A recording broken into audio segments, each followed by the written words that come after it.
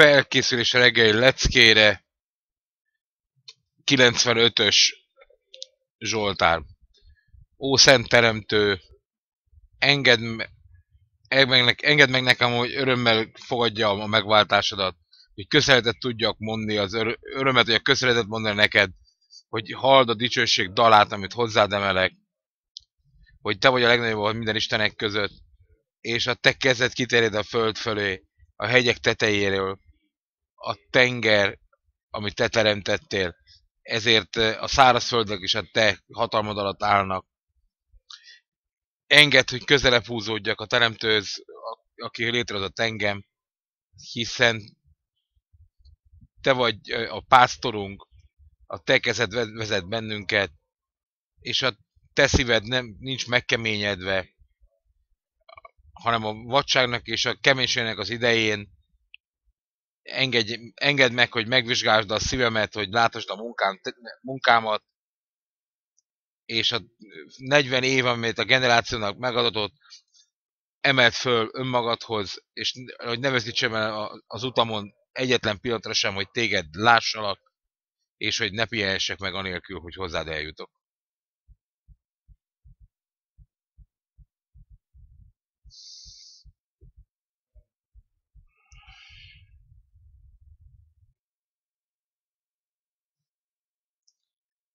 Hát ez az, hogy minden generációban, minden egyes állapotban ez megtörténik, amiről szól ez a hirdetés.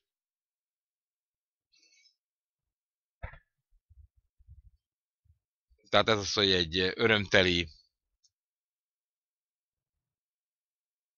hangot kell, hogy hallassunk, hogy, ér, hogy, hogy elérjük azt a fajta állapotot, hogy hogy el tudjuk fogadni, hogy ami a megszerzési edényeinkhez ér, azon keresztül felfedezzük a korrekciót,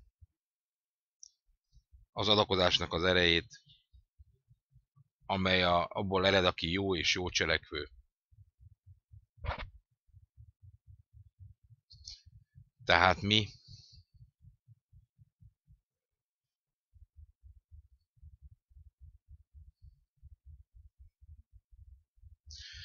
az, tehát az a pillanat, ahogy előre haladunk, a bal oldalon, miközben a bal, ugye azt tudjuk, hogy az, az, hogy az a szívnek a terheit is hordozza a hátunk, a mi számunkra, ja, akkor nem is érezzük magunkat jól emiatt. És,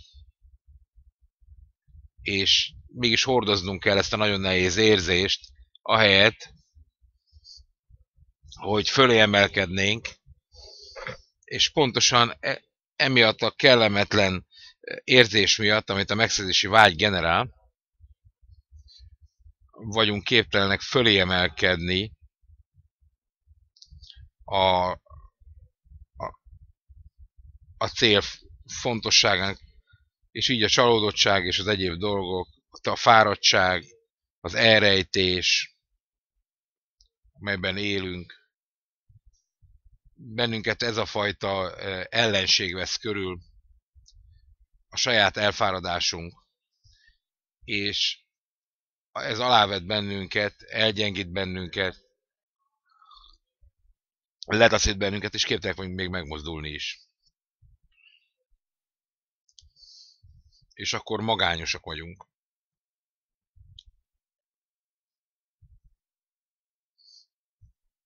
Ez az, amiről Dávid beszél, hogy itt kell felemelkednünk. Dávid az a Malhut különben, amely a csak a saját darabjainak az összegyűjtésével tud felemelkedni.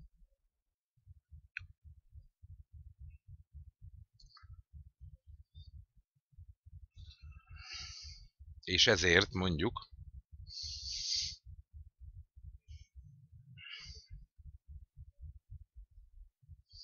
hogy ő az, aki képes megszervezni ezt a fajta körülölelést,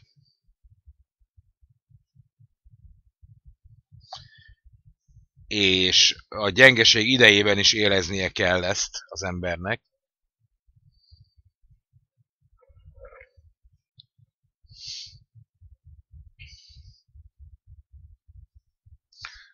hogy nem nagyon lehet bennünket másképp korrigálni,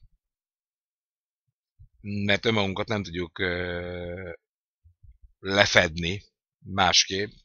Itt ugyanerről szól a történet, mondja Rav, hogy, hogy hirtelen nekem kell a saját tehát például gondoskodnom kell az autó megjavításáról, amely mondjuk 30 ezer sékel. Hogy vagyok én ezt képes megtenni? De ha összegyűjtjük a pénzt apránként, tehát száz sékeleket ö, havonta félreteszünk,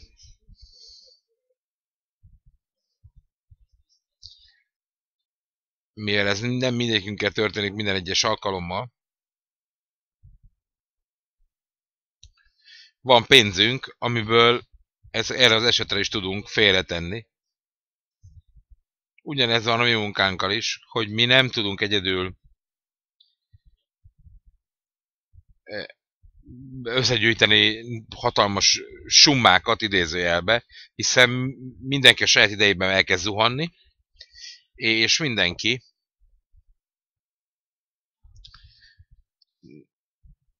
nem csak az általános erőt gyűjti össze, amit a, a barátoktól megszerez, hanem,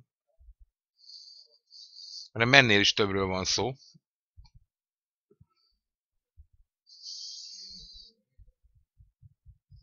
Mivel minden pillanatban össze kell adni minden pillanatban össze kell adni a, a lehetőségeket és, a, és az erőket, csak ezt mi nem használjuk mindig ki.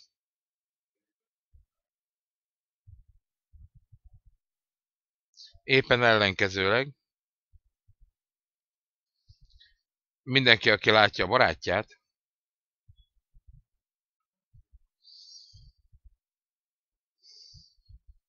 vagy néhány barát akik, barátot, akik el vannak gyengülve, tehát a gyengeség állapotában vannak, önmagát kell látni bennük, és önmagát ére, kell érezni, kötelezve, kötelezve érezni arra, hogy őket felemelje.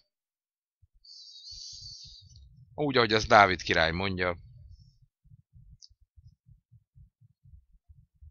hogy énekelj, énekelj nekem a saját megváltásomról, és ez a kezdet,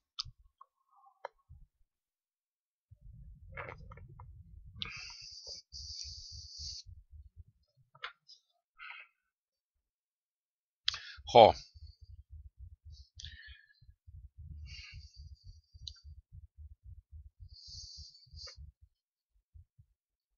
Ha nekem meg kell szereznem ezeket az erőket, nincs más lehetőségem az előadásra, más, mint a felgyorsítás az Akrisének. Folytassuk a leckét.